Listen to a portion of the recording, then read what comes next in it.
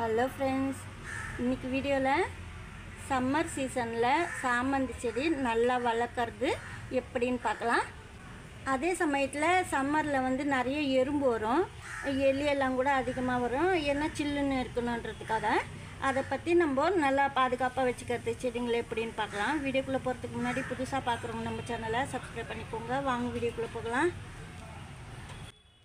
இப்போ சாமந்தி செடி பாருங்கள் இந்த செடி வந்து நான் ஃபுல்லாக வெயிலில் வச்சுருந்தேன். ஏற்கனவே சொல்லியிருந்தேன் தண்ணி கீழே கொஞ்சம் பவுலில் வச்சுட்டு சின்ன கப்பு தொட்டிங்க இல்லை லிமிட்டான தொட்டிங்கெல்லாம் நீங்கள் அந்த தண்ணிக்குள்ளே கொஞ்சமாக இறங்கி அதாவது ஒன் இன்ச்சு தண்ணி இருக்கிற மாதிரி ஊற்றிட்டு அதில் தூக்கி இந்த கப் தொட்டி வைக்கணும். அப்போ நல்லா வளரும். வெயிலில் வச்சுட்டா கூட செடி நல்லாவே இருந்தது. நான் அந்த மாதிரி எல்லாம் வச்ச செடிங்கள்லாம் நல்லாவே இருக்குது இது மட்டும் ரொம்ப வெயிலில் தான் இருந்தது. நான் எதுவுமே இங்கே கீழெல்லாம் வைக்கல. அதே சமயத்தில் ஒரு நிழல் கூட அந்த சைடு கிடையாது. கொஞ்சம் மேல் பாகம்லாம் காஞ்சி போச்சு. அதுக்கப்புறம் அப்பப்போ நான் கொஞ்சம் கீழே எடுத்துன்னு வந்து நிழலில் வச்சுட்டு திருப்பி வெயிலில் வச்சுட்டு மாற்றி மாற்றி வச்சுட்டு இருந்தேன். சில டைமில் மறந்துடுவேன் இந்த சமயத்துலலாம் செடியெல்லாம் கிளெல்லாம் மேல் பாகத்துலலாம் காஞ்சி போச்சு பாருங்க. அதுக்காக தான் நம்ம கொஞ்சம் பார்த்து ஞாபகமாக நம்ம ஒரு இடம் செட் பண்ணிவிட்டு நல்லா பாதுகாப்பாக வச்சுக்கணும் நம்ம செடியெல்லாம். வெயில் அதிகமாக இருக்குது விண்மேல் பட்டு அதுக்காக சொல்கிறேன் பாருங்கள் இதெல்லாம் வந்து காஞ்சி போச்சு. நம்ம அந்த காஞ்சி போனதெல்லாம் எடுத்துடணும்.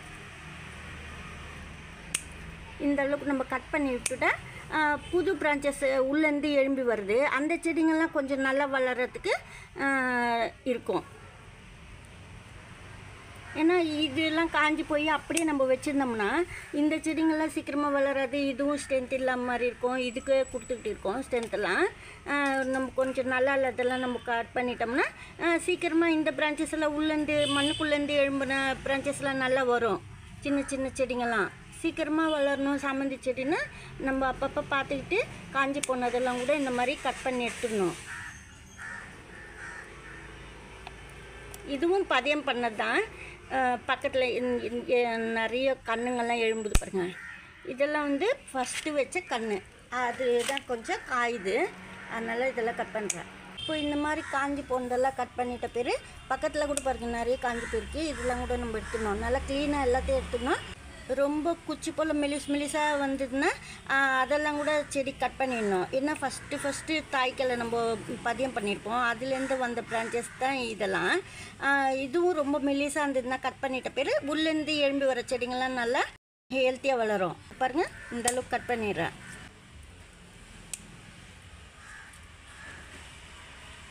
இப்போ இந்த கிளை நல்லா நல்லா இருக்கு. அதனால இந்த கிளை விட்டுடுறேன். திக்னஸாக இருக்குது பாருங்கள் பிரான்ச்சஸ் எல்லாம் நடு இது. அதனால நான் இதை அப்படியே விட்டுட்டு இப்போ நம்ம இந்த மாதிரி கட் பண்ணுறதுனால இந்த கண்ணுங்கள்லாம் நல்லா வளரும். இப்போ வந்து வெயில் அதிகமாக இருக்கிறதுனால நீங்கள் நிழலில் வச்சுக்கோங்க சாமந்தி செடியெல்லாம். தண்ணி டெய்லி வ ஒரு நாள் மட்டும் காலையில் மட்டும் மார்னிங்கில் விட்டால் போதும்.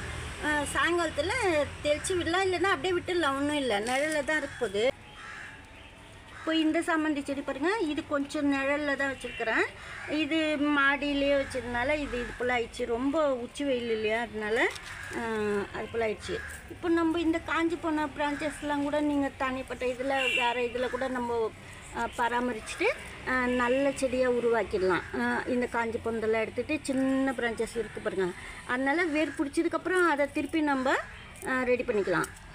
இது வந்து தண்ணியில் போட்டு வச்சு ஒரு நாள் ஃபுல்லாக நாளைக்கு தான் நடணும். இப்போ இதில் கூட பாருங்கள் ட்ரை லீஃப்லாம் இருக்குது இந்த மாதிரி இருந்தால் நம்ம எடுத்துகிட்டு உள்பக்கமாக இருக்கும் நம்மளுக்கு தெரியாமல் இருக்கும். அதெல்லாம் நம்ம பார்த்து அப்பப்போ க்ளீன் பண்ணி எடுத்தால் தான் செடி நல்லா வளரும்.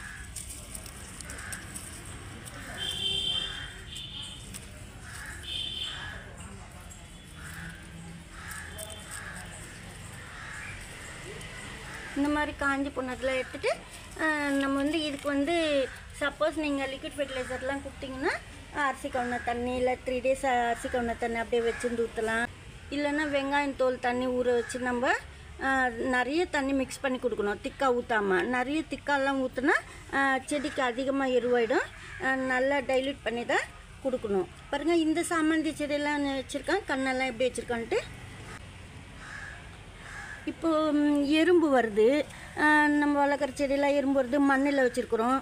நீங்கள் மண்ணில் டைல்ஸில் சிமெண்ட் தரையில் எப்படி வச்சுருந்தாலும் சரி இதை கொஞ்ச நாளைக்கு நம்ம இந்த ரெண்டு மாதத்துக்கு வெயில் இருக்கிற டைம் வரைக்கும் நம்ம இந்த மாதிரி பாதுகாக்கலாம்.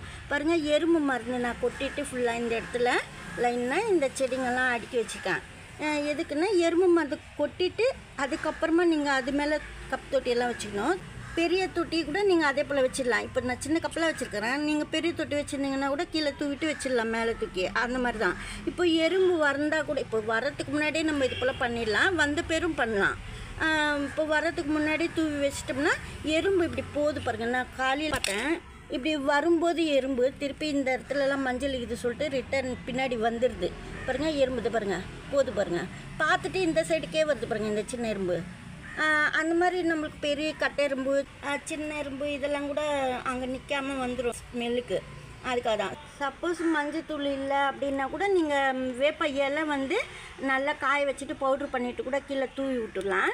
தரையில் கூட. சப்போஸ் சிமெண்ட் தரையில் டைல்ஸில் மேலே வச்சுருந்தீங்கன்னா கூட அந்த இடத்துலலாம் கூட வேப்ப பவுட்ரு வந்து தூவி விட்டுடலாம். அப்போவும் எறும்பு வராது. வேப்ப இலையும் கசப்பு தன்மை உள்ளது. அதுக்காக எறும்பெல்லாம் நிற்காது வெளியேறிடும். இப்போ கிட்டெல்லாம் போதுங்க. திருப்பி இந்த சைட்லாம் வந்துடுதுங்க எறும்பெல்லாம் நான் பார்த்தேன். அதுக்காக தான் நான் இப்போ மஞ்சத்தூள்லாம் தூவி வச்சுட்டேன். இதெல்லாம் சின்ன சின்ன செடிங்க பாருங்கள் இதில் தான் நான் மாடியில் வச்சுருந்த செடி இப்போ கொண்டு வந்துட்டேன். இது வந்து தண்ணி ஊற்றி இதில். இப்படி கொஞ்சமாக ரொம்பலாம் தண்ணி ஊற்றக்கூடாது கொஞ்சமாக அதாவது இந்த இடத்து வரைக்கும் கால் இன்ச்சு அளவுக்கு தண்ணி ஊற்றிட்டு திருப்பி இதில் தண்ணி ஊற்றிட்டோம்னா கொஞ்சம் இந்த அளவுக்கு வந்துடும் வெயிலுக்கு தண்ணியெல்லாம் போயிடும் இருக்காது இதில். அப்போ இந்த தண்ணியும் எடுத்துக்கும் செடி. அதாவது காயாமல் இருக்கும் மண் நான் சாயங்காலத்துக்கு போகிறதுக்குள்ளே இப்போ இதுக்கு ஊற்றிட்டு இதுலேயும் கொஞ்சம் தண்ணி இருக்கும். அதாவது அரை கப்பு தண்ணி இருக்கும் இதில். சாயங்காலம் போய் பார்க்கும்போது தண்ணியே இருக்காது. ஆனால் இதுக்குள்ளே ஈரப்பதம் இருக்கும். அதனால நான் சாயங்காலம் தண்ணி ஊற்றல இதுக்கு. எதுக்கு சொல்கிறேன்னா இதெல்லாம் தெரிஞ்சிக்கினா நல்லதுன்னு சொல்லிட்டு. ஏன்னா இடமே இல்லை உச்சி வெயிலில் தான் வைக்கணுன்னா இதெல்லாம் கூட நீங்கள் ஃபாலோ பண்ணிக்கலாம். இப்போ நம்ம இந்த எறும்புக்குன்னு சொல்கிறோம் எலி கூட அவ்வளோ சீக்கிரத்தில் வராது. இந்த மாதிரிலாம் நீங்கள் பண்ண ஆரம்பிச்சிட்டிங்கன்னா தொட்டி பக்கத்தில் சைட்லலாம் தூவி வச்சுக்கலாம். தொட்டிக்குள்ளேயும் சைடில் இப்போ இந்த மாதிரி தூவி வச்சுக்கலாம் வேப்ப முன்னாக்கு. அந்த ஸ்மெல்லுக்கு எலி பார்த்துட்டு இறங்கிடும் அவ்வளோவா செய்யாது.